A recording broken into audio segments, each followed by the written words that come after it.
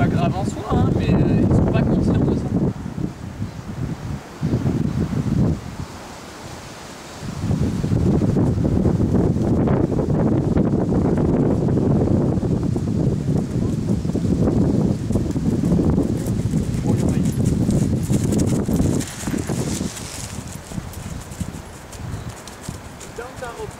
Dans ta détente, voilà, commence quand même à lui demander une flexion latérale de la nuque et de rester au triangle. C'est pas parce que tu arrives là, il faut que tu fasses